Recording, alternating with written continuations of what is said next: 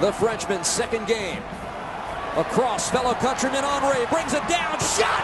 On woodwork in! Henry!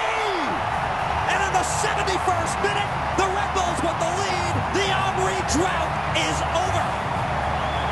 Having the break last week, I think, was great for the team uh, to re- to regenerate and recoup. Um, you know, we've we've had a long stretch here. Um, you know, we ended with the friendly Villa and had a couple days uh, to, to, get ourselves get ourselves back and, and, ready. So I think everybody came out and prepared and, uh, and, and ready to go. So I think it's going to be a great week of training, and uh, we've got to got to have a great week of training if we're going to go up to uh, San Jose and get a result. It's a tough place to play.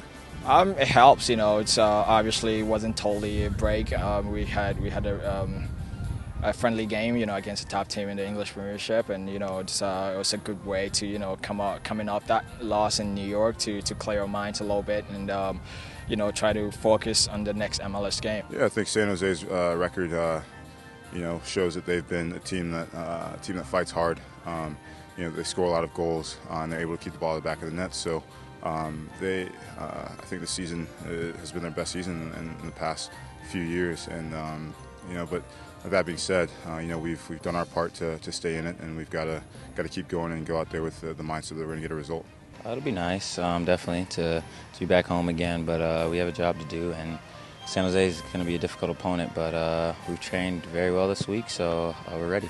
Um, they are doing unbelievable. Um, obviously, they have the best record in the league, and um, they are playing really good right now. They're they're so much in sync, and um, you know it's going to take a lot of effort, you know, to, to try to go, especially in their home field, to try to go and get result. But um, uh, credit to Frankie Yallop, you know, he's built a team and they're doing, they're um, yielding the benefits this year.